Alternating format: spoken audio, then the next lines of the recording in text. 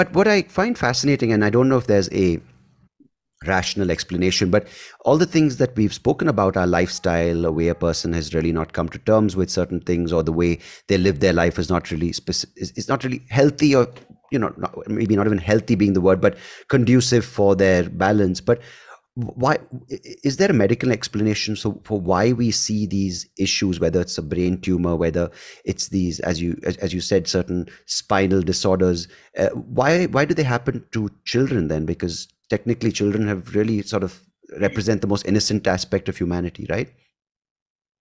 You know this is uh, scientifically an extremely difficult question to answer. Now, in our own textbooks we will have you know, before we study any particular chapter, any brain tumor or any spinal problem or any, you know, they will give you so many reasons why it could be. But when mm. it hmm. comes to a given patient and the patient specifically asks, like a little child has come with a brain tumor, you know, what wrong has the child done in its own lifespan to have this kind of a tumor? And this may not be congenital, it may not be something genetic. So we have really no answers to all these. Mm. Uh, hmm. so, from a scientific angle, I have no answers. So, we are a little frank by telling them, you know, I have no answers to why this has happened. But from my scientific knowledge, I know for this problem, what should the approach be? How do we go about it? And I can give you a kind of a roadmap to look forward. And can we together work on to see how we can, as best, mitigate this problem, do what is conventionally expected outcome for a given problem? So right. uh, this is what we're hearing.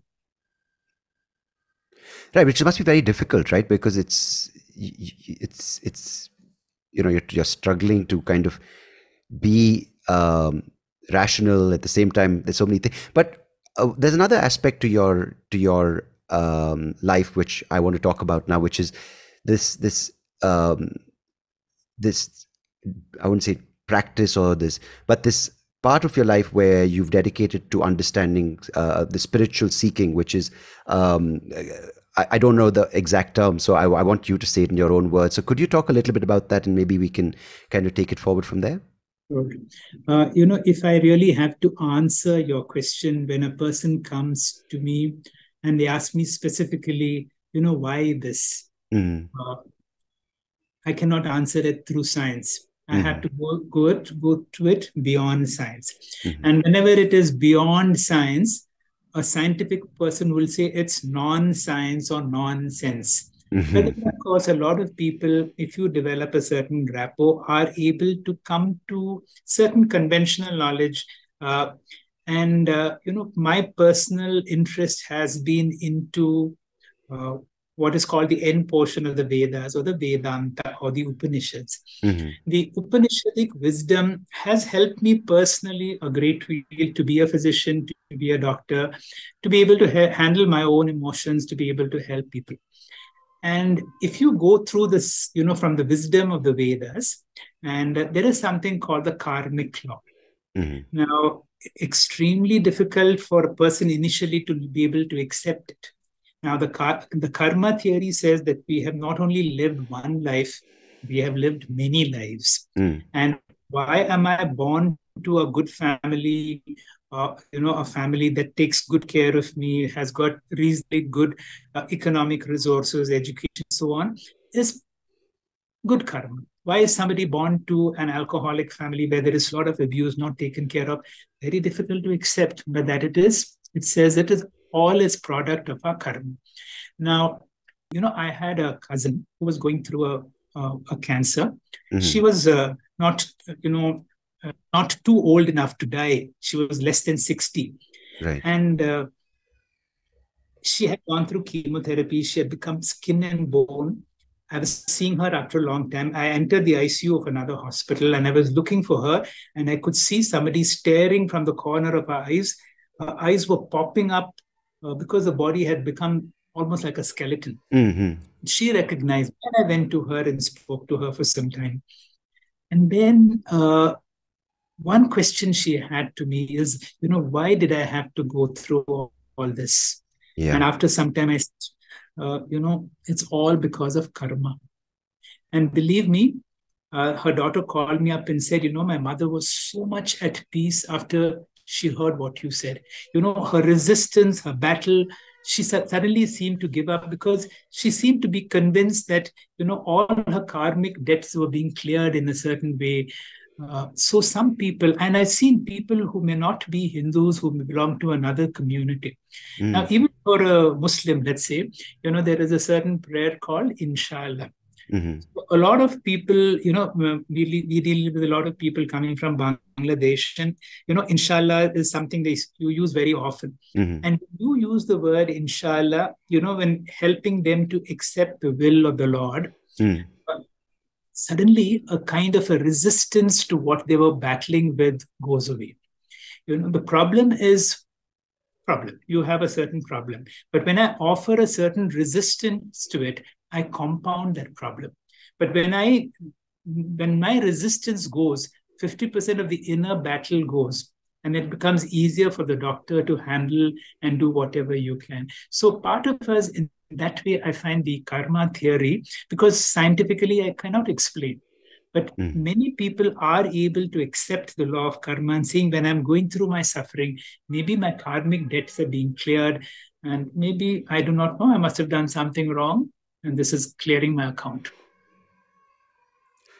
And i find that you know in in today's um, increasingly intolerant way of looking at life some people would say how is someone who's so scientifically brilliant who's reached the pinnacle of his field who's the director of one of the most prestigious um, you know institutions for neurosciences um, who's you know and I, am saying a lot of people in India love the thing that you're, you have studied so hard, you're a doctor, and then they say, oh, but religion and science can never go together. And of course, I understand the Vedas are not quote unquote religious texts in that way, but they go beyond that. And I mean, I don't mean religion in today's context, which is politicized, but I mean it goes back to ancient knowledge. But when you merge the two, um, and, and, and rather, how do you go beyond your mind of technical terms, medical terms, that, and, and kind of find a way to accept these uh, theories, say for instance, karma or the the idea of um, living beyond this particular manifestation of uh, a human experience and how to take it forward. That various other words for it, which I, I don't want to butcher by saying it wrong, but how do you kind of broaden your mind to include these and also more importantly uh, implement this into the way you look at life and the way you kind of treat people through that? Yes Sundeep. Uh, i have been working in this hospital for almost about 20 years now and when i joined this hospital i had absolutely no idea about this aspect of religion about the gita or the knowledge of vedanta absolutely none i was just like any other doctor who had some idea that you know among these scriptures there is something called the bhagavad gita and so on it so happened that our hospital opened up a unit at Chinmaya Hospital. Mm-hmm. And there I asked uh, Swamiji there to inaugurate our services. And this little interaction, one led to another, uh, because he asked me to be the chief guest for a Bhagavad Gita program. And I thought I had to get some idea of the Gita that forced me to look into certain audios on the Gita. Mm-hmm that uh, exposure has transformed my life. And once I discovered something so wonderful in the Bhagavad Gita and the Vedanta, the next big step that I really did was introduce it to my own colleagues in hospital. Mm-hmm. It was amazing that so many doctors and nurses, you know, this is, uh, although I'm introducing, uh, I would not bring in only the Gita, I would bring in all religions. And you have, you know, most of our nurses are Christians. So we would have classes in hospital with all groups of people. Once a week, I would do this and exposed my learnings to a lot of people. It happened that uh, Al Jazeera was doing a documentary on Dr. Devi Shetty, mm-hmm. and they heard that you know some sort of meditation and yoga and uh, spiritual inputs were ha- happening in a hospital. Uh-huh. So they were always, always looking at something. So in one of their episodes, they included my classes that I have taken for our people. So, what really went through is so many cardiologists, neurologists, neurosurgeons now have become open to integrating spiritual wisdom along with their medical practice. I can honestly say uh, the ability to handle themselves have become better. the way they treat patients have become better. Now, one of the things that they have really learned is how blessed we are to be on the other side to be able to treat a patient. Mm-hmm. You know, the uh, a, a, doctor's existence depends on the patient. You know, when you are a super specialist and when you have so many people waiting, sometimes there is an ego that feels, you know, a sense of arrogance, let them wait. Yeah, but on yeah. the other hand, when you realize that my existence is dependent on them, they are paying for me. I come to a hospital, but they are, you know, they are being billed, and my car and my travel and everything comes from them. And the more I value them, so, as I said, when I come to meeting a particular patient, if I have 15 minutes per patient, those moments I'm 100% available for them. And I've seen this with Dr. Devi Shetty. You know, his secretary may be bringing another phone or a call, but when he's with a patient, he's 100%. He's with them, you know, looking into their eyes, feeling their pulse, feeling their heartbeat, really. And then until their last question you know one of his style is is there anything else you want to ask? You know he always concludes with that. He, there should not be a feeling that the doctor has not given enough time. You know however busy you are uh, the patient is the most important person. And if you value the patient and the patient creates a doctor and I am there because of the patient, then you give your time, you give your 100% whenever you're with them. And does this seem to be um, being accepted? Because you said it is in your hospital with your colleagues and with the staff, but how much of this is uh, can be integrated going forward? Because it feels like it's important not just with the, the, the with medic- medical practitioners, but with everyone, right? If, if because it seems like even a one-on-one conversation uh, with other professionals seems to be so distracted, filled with looking at your cell phone, waiting, you know, seeming to be so busy that your thoughts are all over the place.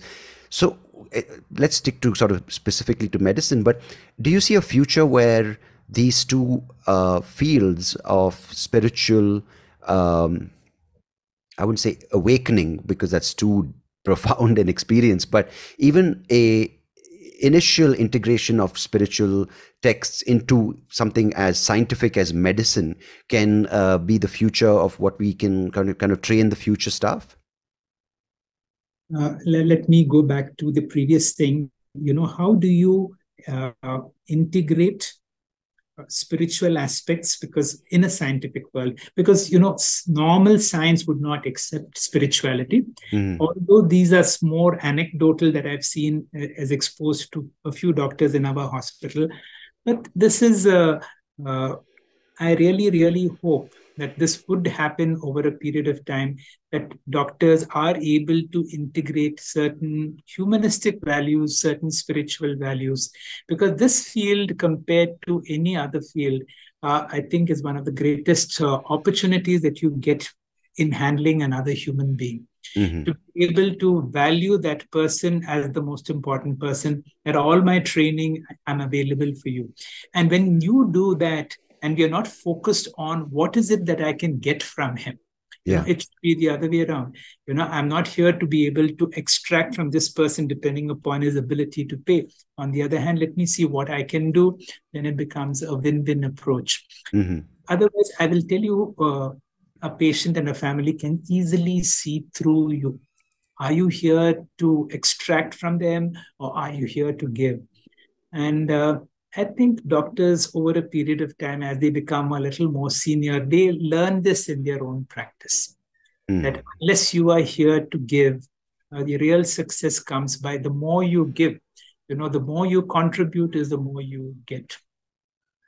And you know, that's an interesting thing when, you know, uh, you look at, uh, again, the 50s, 60s, 70s, when it comes to psychologists who uh, were, very dismissive of these texts, especially when it comes to the consciousness. And I think, and correct me if I'm wrong, but I think in Vedanta there's there's there's a uh, belief, or rather, there's a saying that we're all part of the same consciousness, and we are almost, for lack of a better example, like waves and an ocean, where we uh, uh, come back and we we, don't really have an identity of our own, but the self is a part of a larger thing. Now, a lot of them dismiss this, and now the, the they're going back to certain texts and saying, "Hey, this is actually proven in science." Um, what? How do you kind of uh, approach this, and how do you apply it to your life? Very true. Absolutely true that conventional psychology and conventional medicine are not able to accept this Vedantic view that we are all essentially the same, like one ocean, and all of us different waves. And you know, the benefit of being able to see is that you're able to see oneness in each other or the mm. essential oneness in each other. Although we may differ in color, we may differ in you know external features, but we are all if I'm able to see myself in you and uh, you in me, uh, that is what uh, the real essence of all Vedanta is. Conventional medicine, conventional psychology finds it extremely difficult, would not accept this. But yeah. I have seen something very unusual. That means those of our doctors who have been through this uh, understanding of this consciousness and Vedanta, when they go to medical meetings and when they speak, you know, uh, without their knowledge, they are speaking more of Vedanta than they're speaking conventional uh, uh, or uh, traditional psychiatry and psychology. Mm. And beauty is even in medical meetings, they're being accepted, even mm. in medical meeting. And as you said, you know, more and more in quantum physics and science, the whole Vedantic theory that we are, you know, this whole world, difficult to believe. That's what Vedanta says, is not as real as you think. It is more of an appearance. Uh, uh, so this is one of the last things we say because people find it extremely difficult to believe that the world may not be as real as you think. Mm. Uh, and the reality is the observer, the one who's watching, is more real than anything else that you observe.